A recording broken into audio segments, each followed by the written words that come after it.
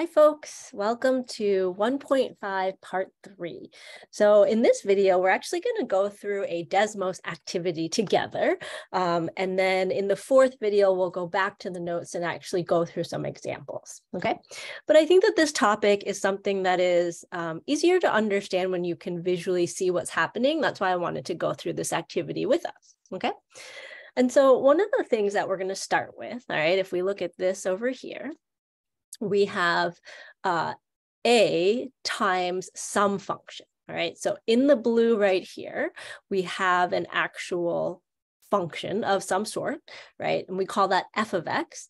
And we have a times f of x. And so what we can do here is we can actually drag this slider in the second line to kind of see what's happening. Um, and in particular, what we want to see is observe what happens as we change the value of a right? And we won't record them anywhere formal, uh, but we're going to talk about things and maybe write down some things in our notes later, okay? All right, so let's see what happens as we change the value of A.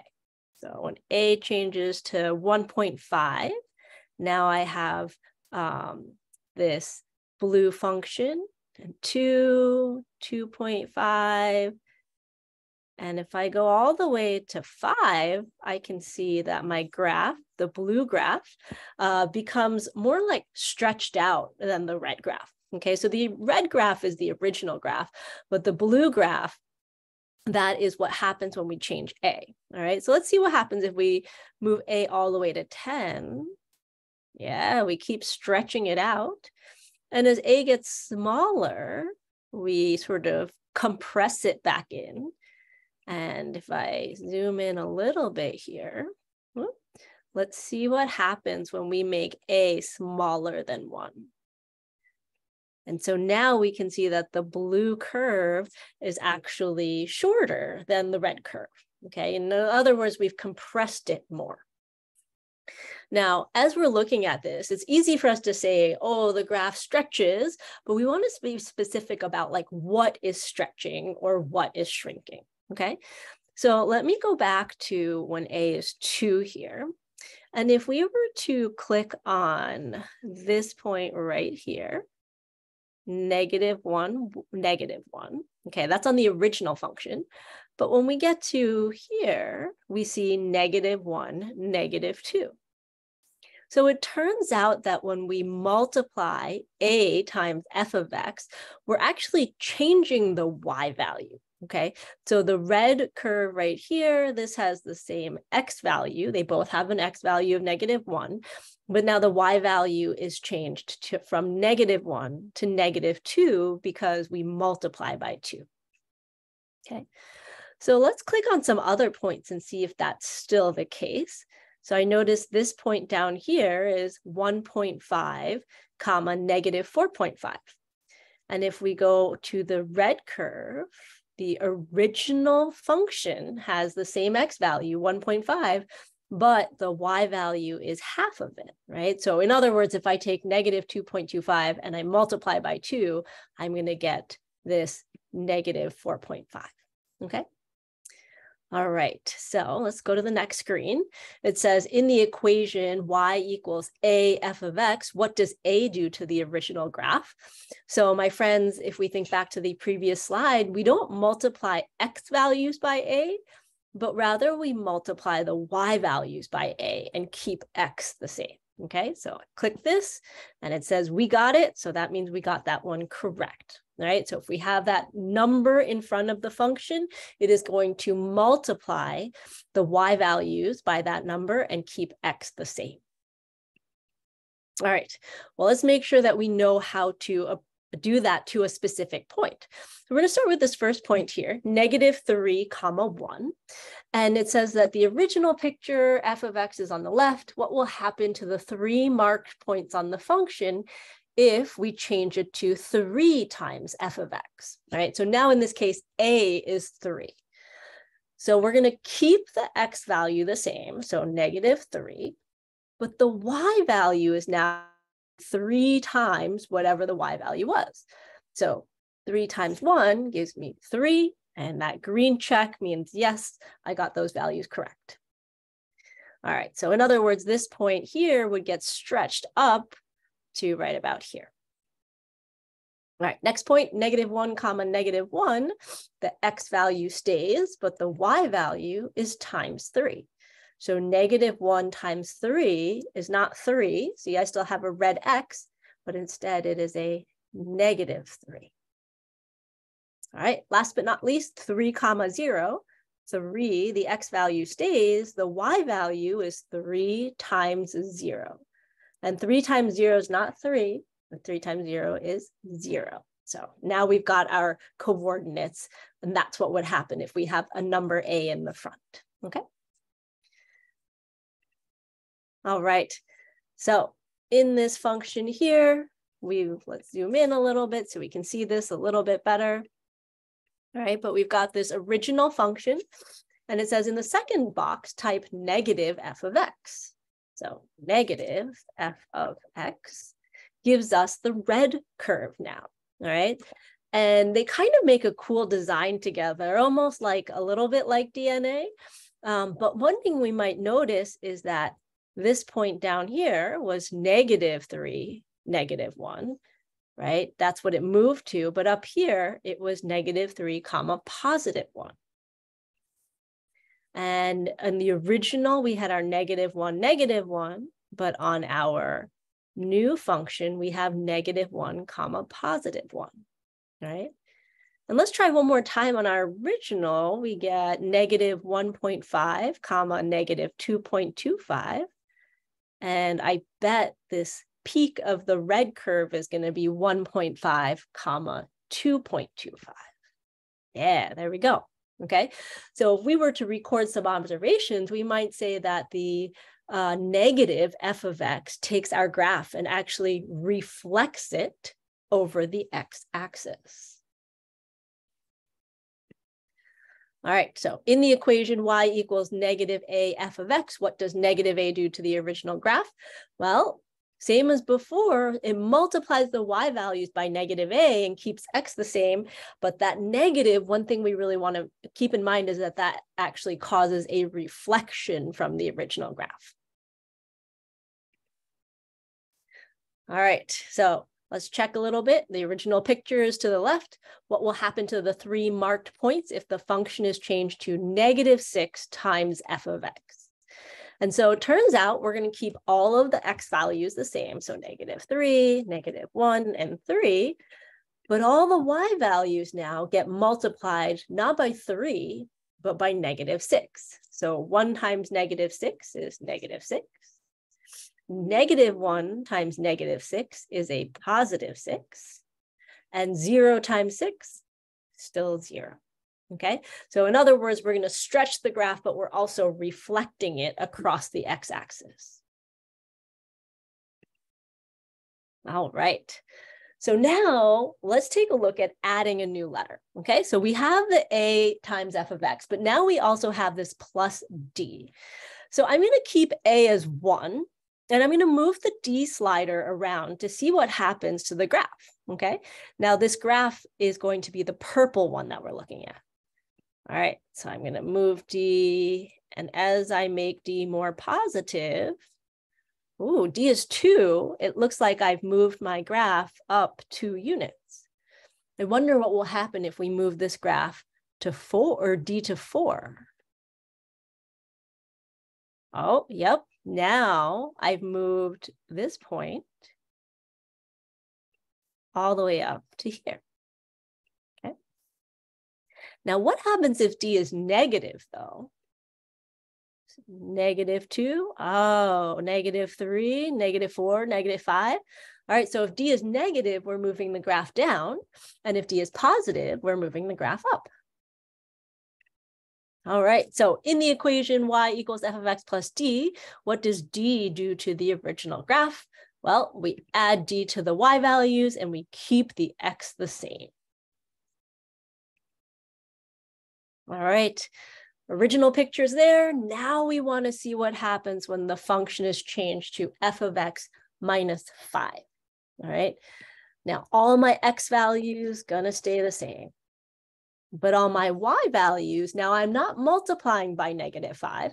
There's f of x minus 5. So I take all of the y values and I subtract five so that that's the same as sliding the graph down, okay? So one minus five is negative four. Negative one minus five is negative six. And zero minus five is negative five. All right, and so that's where all those new points would be. All right, let's combine some things. The original picture is on the left. What will happen to the three marked points if the function is changed to now I have negative two as my A and three as my D. Now I know that A and D don't change the X value. So I'm gonna go ahead and type those in. Negative three, negative one, three. But the Y values, I actually have to multiply by the negative two first and then add the three. So it's just like order of operation, okay? So one times negative two is negative two, and then negative two plus three is one, right? Great. Now we're gonna try the same thing, but plugging in negative one. Negative one times negative two is two. Two plus three is five. And last but not least, we're gonna plug in zero. So negative two times zero is zero, plus three is three. All right, so this would look like if you stretched it, reflected it, and moved the whole graph up three. All right, well, let's take a look at adding another letter now. Now we've got A on the outside, we've got plus D at the end, and inside the parentheses, we're actually inputting B times X now, all right? So not just B, or not just X, but BX. And so I'm gonna move this slider around, all right? When B is one, it is the same as the original. But let's see what happens if we move B to two. Ah, looks like that purple graph now got skinnier or thinner. All right, what happens if we make B less than one? Oh, now that looks like it's stretching out when B is between zero and one. Okay, so let's see that one more time. Compression or squeezing in and stretching or pulling pulling the edges of the function out from the center. Okay. All right. So in the equation y equals f of bx, what does the b do to the original graph? Now we're not adding b to x or y, but in this case, we're actually changing the x values, okay? And in fact, we are multiplying the x values by one over b, all right? So let's go back to the previous slide and make sure that we got that, okay? So I'm gonna actually make b2, all right?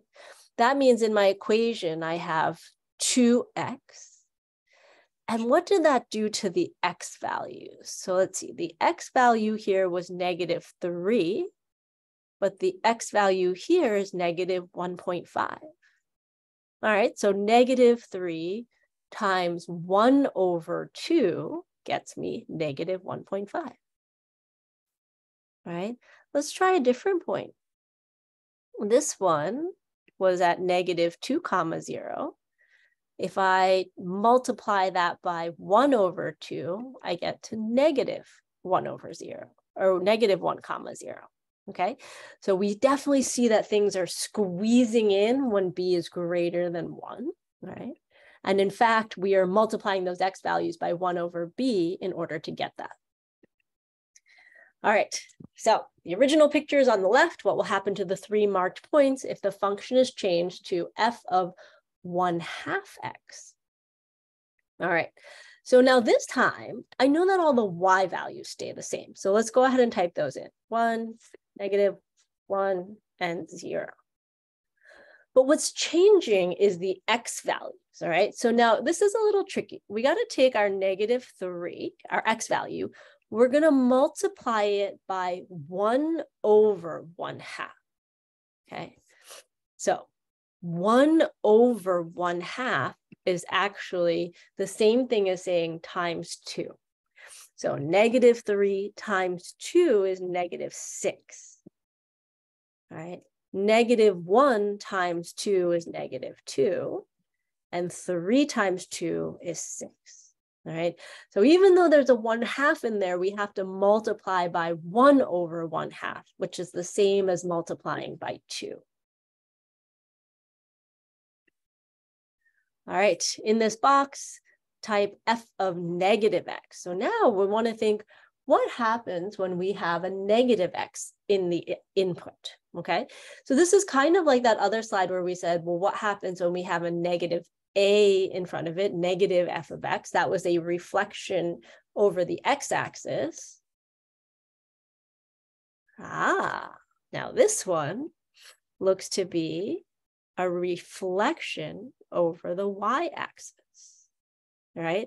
So when I change the x's to be the other sign, I flip over the y-axis. All right, in the equation y equals f of negative b, what does negative b to, to do to the graph? Multiply the x values by negative 1 over b and keep y the same. All right, the original picture is on the left. What will happen to the three marked points if the function is changed to f of negative x? All right, y values all stay the same, but the x values we multiply by negative 1 over 1. 3, negative 1 times negative 1 is 1. 3 times negative 1 is negative 3. All right. We are adding one final letter, and that is our friend C, the letter C. Okay. So if we have, let's make D zero again. All right. Now, what happens when we move our C? So I make C a positive number, it slides to the right. And if I make C negative, it slides to the left. Okay.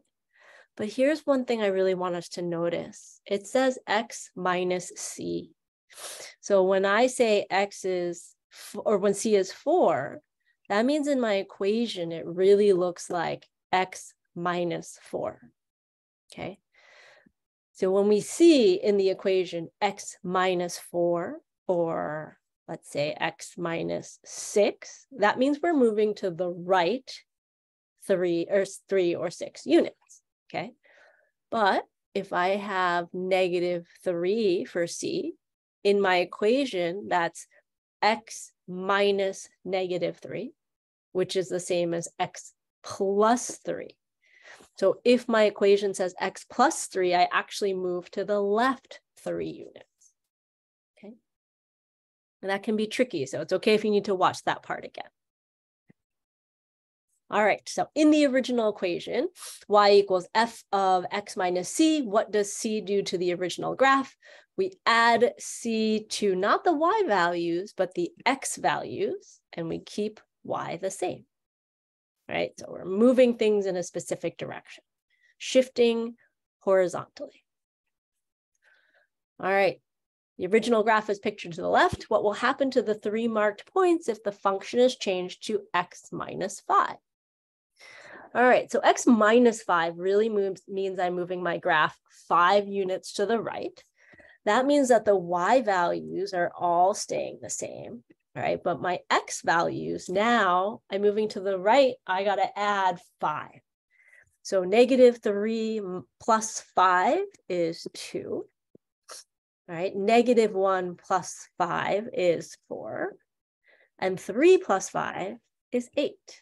All right, so even though this is x minus five, I need to slide everything to the positive direction. All right, let's finish off with a thing where we're changing both the X and the Y. All right, so original pictures on the left. What will happen to the three marked points if the function is changed to f of x plus 1 minus 2? Now, the plus 1 means we move to the left one. The minus 2 means we move down 2, okay? So my x value was negative 3. If I go 1 to the left, it's negative 4.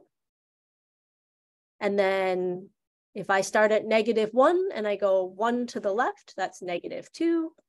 And if I take three and move it one to the left, I get two. So those are all my x values. But what about the minus two here? Well, that, my friends, changes all the y values by sliding things down too. So one minus two is negative one. Negative one minus two is negative three. And zero minus two is negative two, all right? So that's sort of how we work with these things called graph transformations. Each number's in a special place for a special reason, and we'll go over that in part four of the video. All right, so I'll see you folks back there.